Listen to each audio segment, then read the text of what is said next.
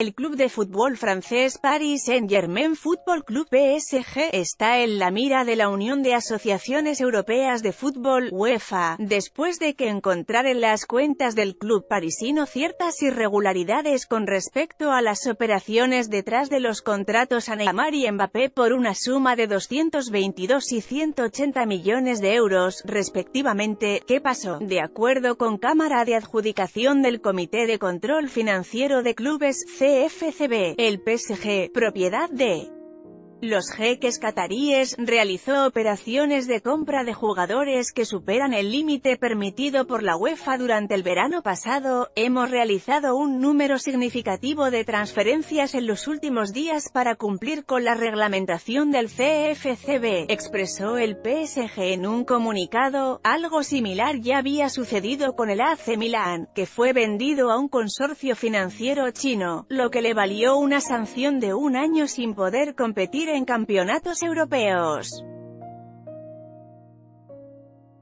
Nasser Al-Khelaifi, presidente del PSG es el principal operador financiero del club Foto, tarde, un escándalo más.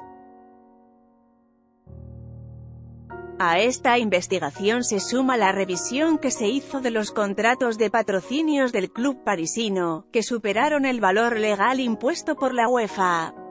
La Cámara de Investigación de Control Económico de los clubes investiga las cuentas y contabilidad para detectar las irregularidades que no solo violan los estatutos de la UEFA, sino también las leyes de competencia financiera de la Unión Europea.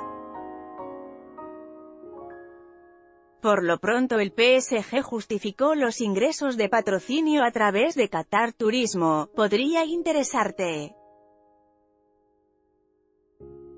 CR7 podría salir del Real Madrid y este sería su nuevo club afición mexicana se desespera y grita pu. Contra Neymar Fernando Castillo articulista internacional